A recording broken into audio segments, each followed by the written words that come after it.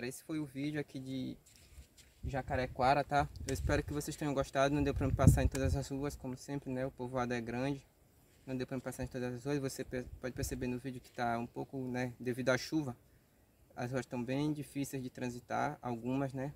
Então esse aqui foi em resumo, tá pessoal? Espero que vocês tenham gostado. Se inscreva no canal, tá pessoal? Dá um like, um comentário.